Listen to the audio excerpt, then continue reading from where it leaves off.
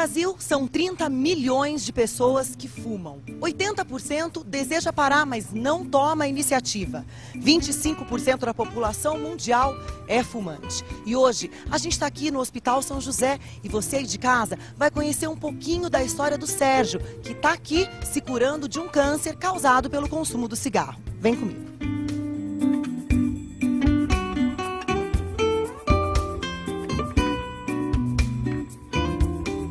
Sérgio, quando você começou a fumar? Eu comecei a fumar com 14 anos de idade. Eu fui influenciado por uma geração que o menino tornava-se homem com um cigarro na mão. Eu assisti todos os filmes, Clark Gable, que eu, estou com 68 anos e são 54 fumando. Fui, fui influenciado pela mídia, pelo cinema, pelos amigos, pelas baladas da época e sempre gostei do cigarro. Eu sou apaixonado pelo cigarro. Eu era. E quanto de cigarro você fumava? Aos 14 anos eu fumava em média um maço por dia, um cigarro chamado Continental. Com a evolução dos filtros, eu fumava agora, há um mês atrás, quatro maços de cigarros por dia. A minha rotina era acordar de madrugada, a primeira coisa acender um cigarro. Voltava a deitar. Acordava novamente para é, fazer uma higiene pessoal. Eu já, tir, já tinha fumado o segundo, um cafezinho o terceiro, e me dirigindo ao, ao meu trabalho, eu já fumava cerca de 14, 15 cigarros. Você em algum momento pensou em parar de fumar? Jamais, jamais. Há um mês atrás, quando me disseram, você está com uma doença, um câncer é, pesado, está tomando já seu fígado e está tomando o corpo inteiro. Então, se não houver tratamento, você vai morrer em três meses. Isso eu ouvi de um médico não desse hospital onde eu estou. Falou, você tem três meses de vida. E aí eu tomei a decisão do imbecil, do burro.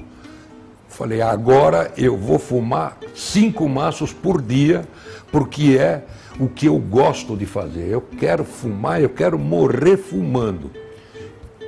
É opinião de um mês atrás. Como você parou de fumar? Aí eu tenho um amigo ofereceu um adesivo que eu colo diariamente. Então eu falei, tá bom, para satisfazer o meu amigo, porque ele veio com uma caixinha de presente, é uma pessoa pobre, falou, vou deixar de comer dois dias para te dar esse presente.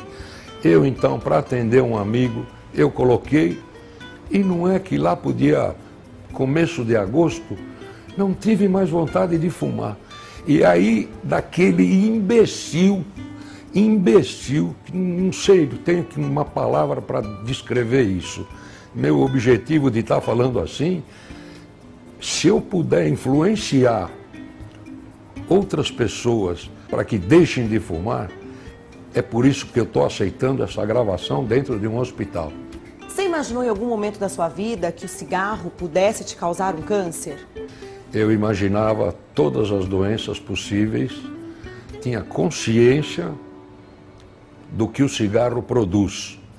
Conheci uma grande fábrica e eles tinham segredos imensos por trás, tambores lacrados num cofre forte para viciar a gente. E como o cigarro era gostoso. Sérgio, você tem medo de morrer? Não tenho medo de morrer pela minha filosofia de vida, mas imbecil mais uma vez, querendo fumar até na porta, na, na, no caixão, querendo um cigarro no caixão. Bom, eu gostaria que você mandasse um recado para as pessoas que fumam. É uma imbecilidade. É é pegar dinheiro, jogar fora. Me diziam qual o prazer de respirar uma fumacinha.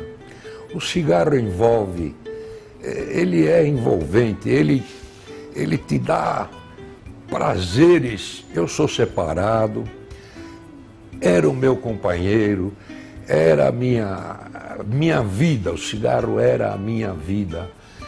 Assim eu estava pensando há um mês atrás.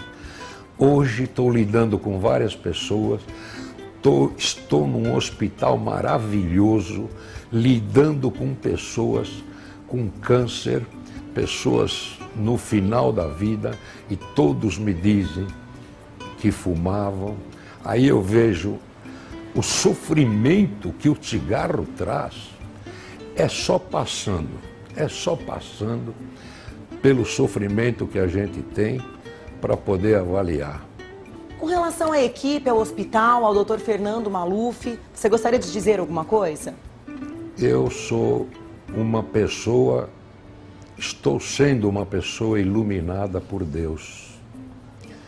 Tenho muita fé em Jesus Cristo e acho que foi a mão dele que levou este meu amigo a me ajudar para parar de fumar. E caí nas mãos de um médico especialista. Explicou-me todo o processo do câncer, que é complexo. Você que está me ouvindo, pare de fumar. Este médico, se é que eu posso dizer o nome dele, tenho o maior prazer em dizer, é Dr. Fernando Kutaiti Maluf, com uma equipe fantástica, fantástica. Eu estou no hospital, eu vou revelar, São José da Beneficência Portuguesa. Então, sou uma pessoa iluminada por Deus por ter caído na mão deste médico. Estou me emocionando porque Ele está salvando a minha vida, que eu não dava valor por ser imbecil. Mas graças a Deus, parei de fumar. Deixa a indústria tabagista de lado, que ela é bilionária. Eles gastam milhões neste hospital que eu percebo aí com equipamentos, com tudo, para corrigir um hábito burro, burro, um hábito imbecil, não tenho palavras para definir. Não me considero uma pessoa burra, mas no sentido do cigarro, fui há 54 anos de burrice. Então, meu amigo, minha amiga, criança, seja lá quem for, façam tudo para não fumar. Por favor, eu peço em nome de Jesus Cristo, não fumem.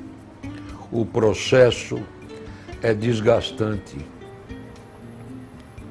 Querer morrer com um cigarro na boca é o fim do mundo, é o fim do mundo.